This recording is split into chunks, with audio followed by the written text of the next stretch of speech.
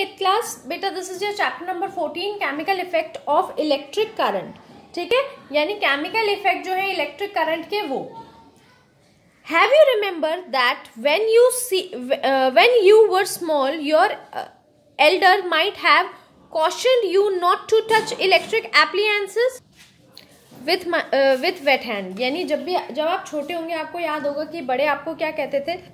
कि कभी भी इलेक्ट्रिक एप्लियंसेस यानी जैसे फ़ैन है स्विच है ठीक है स्विच है तो उसको कभी भी आप गीले हाथों से टच मत करो। But do you even think why why is it dangerous to touch an electric appliances with wet hand मगर कभी आपने सोचा है कि क्या होगा अगर आप वेट हैंड से uh, किसी स्विच को छू लो, यानी क्या डेंजर होगा वहाँ पे? You might get a shock if you ever touch a switch with the wet hand आपको एक शॉक लगेगा जब भी आप वेट हैंड से किसी भी इलेक्ट्रिक एप्लियंस को छुएँगे।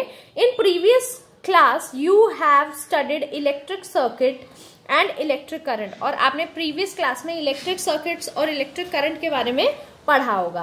अब इस चैप्टर में आप क्या पढ़ेंगे? कंडक्टिविटी इन सॉलिड लिक्विड ठीक है, यानी कैसी कंडक्टिविटी है? यानी जो सॉलिड्स होते हैं, क्या वो करंट को अपने अंदर से पास होने देते हैं? जो लिक्विड्स होते हैं, क्या वो पास होने देते हैं? और केमिकल इफेक्ट्स जो होते हैं करंट के वो इलेक्ट्रोलाइसिस और इलेक्ट्रोप्लेटिंग ये दो आपके नए टॉपिक हैं जो आप इस चैप्टर में पढ़ेंगे। सबसे पहले जानने इसके बारे में पढ़ने के लिए कि कंडक्टिविटी जो है सॉलिड में कैसी होती है लिक्विड में कैसी होती है, उससे पहले हमें पढ़ना होगा कि कंडक्टर्स और इंसुलेटर्स क्या होते हैं। देखो, बहुत बेसिक है कंडक्टर्स वो होते हैं जो इलेक्ट्रिसिटी को या किसी भी चीज़ को अपने अंदर से पास होने दे यानी गुड कंडक्टर्स ठीक है? और अगर कोई अपने आ, आपस में इलेक्ट्रिसिटी को पास नहीं होने देता या इलेक्ट्रिसिटी को रोकता है जैसे लकड़ी से अगर आपको बोला कि आपको हमेशा बोला जाता होगा या कभी आपने सुना होगा या टीवी में सुना होगा जब भी किसी को इलेक्ट्रिक शॉक लगता है या वो स्विच से चिपका होता है किसी तार से चिपका होता है हमेशा वो लकड़ी की डंडी ढूंढते हैं लकड़ी का कोई भी फट्टा या कुछ भी लकड़ी का ढूंढकर ताकि वो उसको हटा सके। क्यों लकड़ी? क्योंकि लकड़ी जो होती है, वो कभी भी इलेक्ट्रिसिटी को अपने अंदर से पास होने नहीं देती। तो यानी वो बैड कंडक्टर है, यानी वो इंसुलेटर्स है। There are some material that allow electrons to pass through them and some uh, some material do not. कुछ मटेरियल uh, होते हैं सब कुछ इलेक्ट्रॉन्स होते हैं जो अपने अंदर से इलेक्ट्रिसिटी को पास होने देते हैं। कुछ नहीं पास होने देते हैं। On the basis of the ability to let electrons pass through material are of following three types तो इसीलिए मटेरियल जो है वो तीन टाइप के हैं। सबसे पहला है कंडक्टर्स फिर है इंसुलेटर्स फिर है सेमीकंडक्टर्स ठीक है? कंडक्टर्स इंसुलेटर्स सेमीकंडक्टर्स अब इन तीनों का क्या होता है वो हम पढ़ेंगे। कंडक्टर सबसे पहले पढ़ते हैं conductor is an object or a type of material that allow the flow of electrical current in one or more direction यानी कंडक्टर क्या होता है बेटा जो अप, ऐसा मटेरियल इस टाइप का material a metal wire is common electrical conductor और जो मेटल वायर्स होती है मेटल की बनी हुई वायर्स होती है बेटा वो कॉमन कंडक्टर है इलेक्ट्रिसिटी का। इसीलिए आप इलेक्ट्रिक वायर्स जो हमारी होती है वो मेटल uh, की होती है ताकि इलेक्ट्रिसिटी आसानी से पास हो जाए। All the metals are good conductor conductor सारे मेटल्स जो होते हैं जो मेटल होते हैं वो सब गुड कंडक्टर्स होते हैं इलेक्ट्रिसिटी के। In metal atom atom the electrons present in the outermost shell are loosely bound और मेटल्स में क्या होता है जो एटम होते हैं बेटा यानी जो इलेक्ट्रॉन्स होते हैं उसके अंदर जो प्रेजेंट वो शेल में क्या होते हैं लूजली बाउंड होते हैं यानी बहुत टाइटली पैक नहीं होते लूज लूज होते हैं। In metal such as copper or aluminium the mobile charged particles are atom electron जो मेटल uh, होते हैं जैसे कॉपर हो गया एल्यूमिनियम हो गया इनमें जो mobile the mobile charge particles are electrons mobile charge मतलब मोबाइल चार्ज मतलब मोबाइल मतलब होता है जो इधर उधर इजीली जा सकते हैं। चार्ज पार्टिकल्स यानी जो चार्ज हो, ठीक है, जिसके अंदर एनर्जी हो एक तरीके की, वो इलेक्ट्रॉन्स होते हैं। ठीक है पॉजिटिवली चार्ज में ऑल्सो भी मोबाइल जो पॉजिटिवली चार्ज होते हैं, वो भी मोबाइल यानी इधर उधर घूम सकते हैं, जैसे cationic electrolyte of a battery or the mobile proton of the proton conductor of a fuel cell ये आपको बता रखा है कि फ्यूल सेल में जो है वो प्रोटॉन कंडक्टर्स होते हैं, ठीक है? प्रोटॉन्स होते हैं और जो अगर इसमें पॉजिटिवली चार्ज है तो कैथियोनिक इलेक्ट्रोलाइट्स भी हो सकते हैं। Insulators are non conductor conducting material with the few mobile charge that support only insignificant electric electric circuit और इंसुलेटर्स जो होते हैं वो नॉन कंडक्टिंग मटेरियल होते हैं। इंसुलेटर्स यानी जिसके अंदर से इलेक्ट्रिसिटी पास नहीं हो सकती और उसमें बहुत कम मोबाइल चार्ज चार्जेस होते हैं यानी बहुत कम इधर उधर मूव करने वाले चार्जेस होते हैं। सिर्फ़ वो जो सपोर्ट करे ठीक है इलेक्ट्रिकल करंट को। Except metal there are some other material which do not conduct very well और मेटल्स के अलावा कुछ और भी ऐसे मेटल uh, हैं जो आ, क्या कहते हैं इलेक्ट्रिसिटी को that do not conduct very well जो अच्छे से इलेक्ट्रिसिटी को कंडक्ट नहीं कर सकते, जैसे सॉइल है एयर है वाटर है and non metal these material conductor conduct current under specific condition ये एक स्पेसिफिक कंडीशन होगी, तभी अपने अंदर से इलेक्ट्रिसिटी को पास होने देंगे, वरना ये अपने अंदर से पास होने नहीं देंगे. So they are called poor conductor और इसी कारण से इनको पुअर कंडक्टर या इंसुलेटर्स कहा जाता है.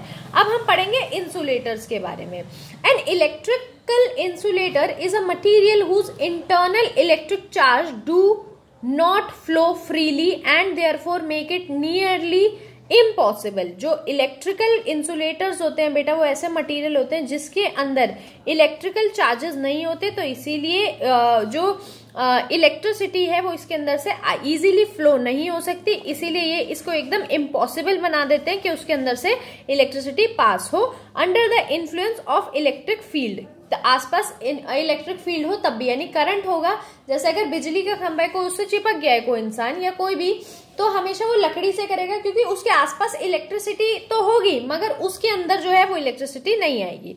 This contrast with other material semi conductor and conductor which conduct electric current more easily the property that distinguish in insulator is resistivity insulators have high resistivity that semiconductors or uh, then semiconductor or, or conductor इनके अंदर resistivity जो होती है बेटा वो बहुत ज़्यादा होती है यानी करंट को रोकने की क्षमता इसी वजह से इसमें से करंट पास नहीं होता और कंडक्टर्स और सेमीकंडक्टर्स में से हो जाता है। अब आते हैं semiconductor semiconductor device display a range of properties such as passing current more easily in one direction then the other जो कंडक्टर था वो हर डायरेक्शन में करंट को एक्सेप्ट करता था। हर डायरेक्शन में उसमें करंट फ्लो हो सकता था। मगर जो सेमी कंडक्टर होते हैं वो सिर्फ़ एक ही डायरेक्शन में करंट को फ्लो होने देते हैं और इंसुलेटर्स जो है वो किसी भी डायरेक्शन में करंट को फ्लो होने नहीं देते। Showing various resistance and sensitivity to light or heat और ये बहुत ज़्यादा सेंसिटिव होते हैं हाइट और हीट से because the electrical property of semiconductor material can be modified by controlled addition of impurity or by application of electrical field or light यानी क्योंकि इसको कंट्रोल किया जा सकता है।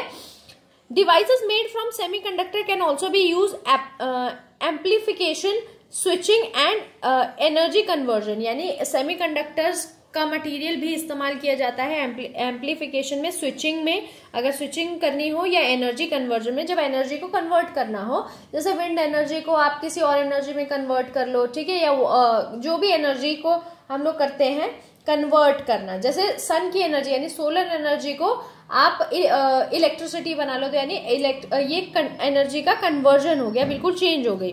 The modern under understanding of the property of semi conductor explain this movement of the electron and holes with in a crystal lattice structure यानी एक structure में इलेक्ट्रॉन्स जो है इसमें मूव करते हैं जो चार्ज होते हैं। जैसे कंडक्टर्स में कहीं पर भी लूजली थे कहीं पर भी मूव uh, कर सकते थे बट यहाँ पर एक स्पेसिफिक एरिया में। कैन लिक्विड कंडक्ट क्या लिक्विड जो होता है क्या वो कंडक्ट कर सकते हैं या वो कंडक्टर बन सकते हैं?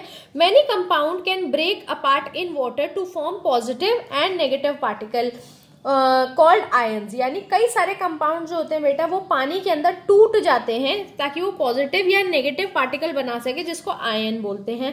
Ion are able to carry electrical current through a solution और आयरन जो होता है आयन्स जो होते हैं बेटा, वो इलेक्ट्रिक करंट को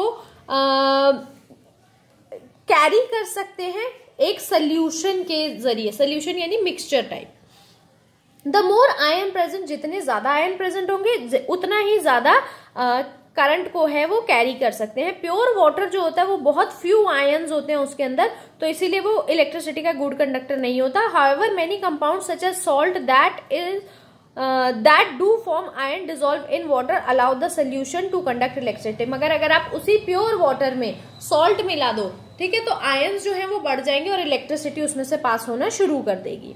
ठीक है? Some compound such as sugar dissolve in water do not form ions मगर अगर चीनी को आप घोलोगे तो वो आयन्स नहीं बनाएगी तो इसीलिए वो एक गुड कंडक्टर नहीं होगा। विनेगर जो होता है इज़ मोस्टली वाटर ज़्यादातर वाटर होता है with small amount of acetic acid और थोड़ा सा उसमें एसिटिक एसिड भी होता है। The acetic acid separate into ion so that the solution conduct electricity और एसिटिक एसिड जो होते हैं वो आयन्स को सेपरेट कर देते हैं, इसीलिए सोल्यूशन जो है वो आराम से इलेक्ट्रिसिटी को कंडक्ट कर सकता है। तो हमने यहाँ पर क्या सीखा कि अगर इलेक्ट्रिसिटी को कंडक्ट करना है तो ऐसा सोल्यूशन चाहिए जो ज़्यादा से ज़्यादा आयन बनाए ताकि वो ज़्यादा से ज़्यादा इलेक्ट्रिक करंट को जो है वो कैरी कर पाए। ठीक है बेटा? अब यहाँ पर आते हैं इलेक्ट्रोलाइट इलेक्ट्रोलाइट क्या होता है? This substance which conduct electricity in liquid state और when dissolve in water and break the chemically chemically to ion passing on electric current is known as electrolyte electrolyte क्या होता है? एक ऐसा सब्सटेंस जिसके अंदर से जब आप इलेक्ट्रिसिटी को पास करो लिक्विड में इलेक्ट्रिसिटी को पास करो तो बेटा क्या हो? वो पानी में एक तो डिजोल्व हो तो वो आयंस को ब्रेक कर दे आयंस को तोड़ दे और इलेक्ट्रिक करंट को पास होने की जगह दे। इसी को इलेक्ट्रोलाइट कहते हैं, ठीक है? इसी को क्या कहते हैं? इलेक्ट्रोलाइट कहते हैं। दोबारा से पढ़ते हैं substance which conduct electricity in liquid state or when dissolve in water यानी ऐसे सब्सटेंसेस जो लिक्विड स्टेट में हो तो इलेक्ट्रिसिटी को कंडक्ट कर सकते हैं या उनको पानी में मिला दिया जाए। और केमिकली आयंस को ब्रेक कर दें और इलेक्ट्रिसिटी को पास जब ऑन पासिंग इलेक्ट्रिसिटी कब ब्रेक करेंगे? जब उसके अंदर से आप इलेक्ट्रिसिटी को पास करोगे यानी सेल को जोड़ दोगे तो वो ब्रेक कर, करने लग जाएँगे आयंस को। इसी को इलेक्ट्रोलाइट कहते हैं। अब इसके कुछ एग्ज़ाम्पल है। When we dissolve sodium chloride जब आप एनएसीएल यानी सोडियम क्लोराइड को पानी में घोलेंगे it dis dissociate up into N A और ये एन को तोड़ देगा एंड uh, uh, ये जो सी ए है यानी क्लोराइड है ऑन पासिंग इलेक्ट्रिकल करंट और यानी uh, ये पहले तो मिक्सचर था सोडियम और क्लोराइड मगर जब आप इसमें से इलेक्ट्रिसिटी पास करेंगे तो सोडियम अलग हो जाएगा क्लोराइड अलग हो जाएगा. These ion move towards oppositely charge oppositely charge electrodes और ये कहा जाने लग जाएँगे, कहाँ मूव करने लग जाएँगे ऑपोजिटली चार्ज इलेक्ट्रॉड्स के पास, यानी कैश कैशन यानी जो पॉजिटिव चार्ज है वो नेगेटिव की तरफ़ इलेक्ट्रॉड की तरफ़ भागने लगेगा। कैथोड की तरफ़ और जो एनियंस हैं, वो किसकी तरफ़ भागने लगेंगे? पॉजिटिवली चार्ज इलेक्ट्रॉइड यानी एनोड के पास। और ये ही केमिकल चेंज है। केमिकल चेंज कौन सा होता है? यानी वो चेंज जो वापस से ठीक नहीं किया जा सके, पहला जैसा नहीं बनाया जा सके। वेन कॉपर सल्फेट अब कॉपर सल्फेट जो है, वो जब वाटर में डिजोल्व करते हैं तो पॉजिटिवली चार्ज कॉपर आयंस बनाता है और नेगेटिवली चार्ज सल्फेट आयंस बनाता है। जब इलेक्ट्रिक करंट आप उसमें से पास करेंगे तो क्या होगा? जो कॉपर था ठीक है? जो कॉपर था, वो यानी कैशन, वो किसकी तरफ़? कैथोड की तरफ़ भागने लगेगा and pick up electron from there और वहाँ से इलेक्ट्रॉन्स उठाने लगेगा और जो डिपॉजिट है, वो कैथोड जो है, वो कॉपर एटम का बन जाएगा और जो एनोड है बेटा कॉपर एटम का, वो कॉपर प्लेट्स के in copper plates loose electrons to form copper और जब कॉपर प्लेट में, यानी जो कॉपर की प्लेट है, जो भी आप कॉपर का सामान उसमें डालेंगे, वो अपने इलेक्ट्रॉन्स को लूज करने लग जाएगा, ठीक है? सल्यूशन में से from the ion go into solution और जो आयन्स है, वो सारे सोल्यूशंस में आने लगेंगे thus the copper loss to cathode is restored by anode यानी अगर कैथोड से जो कॉपर है वो लूज हो जाए तो एनोड में इकट्ठा हो जाता है। Electrolyte are of two type strong and weak और ये दो तरीके के इलेक्ट्रॉइड्स होते हैं स्ट्रॉन्ग और वीक ठीक है? Strong electrolyte dissolve completely in ion strong electrolytes जो होते हैं, वो इलेक्ट्रोलाइट्स जो होते हैं, वो कंप्लीटली डिजोल्व हो जाते हैं आयन्स में। जब आप इलेक्ट्रिसिटी पास करते हैं और जो वीक होते हैं, वो कंप्लीटली डिजोल्व नहीं होते हैं। ठीक है बेटा? इसी के साथ हमारी वीडियो नंबर वन जो है यहाँ पर फिनिश होती है।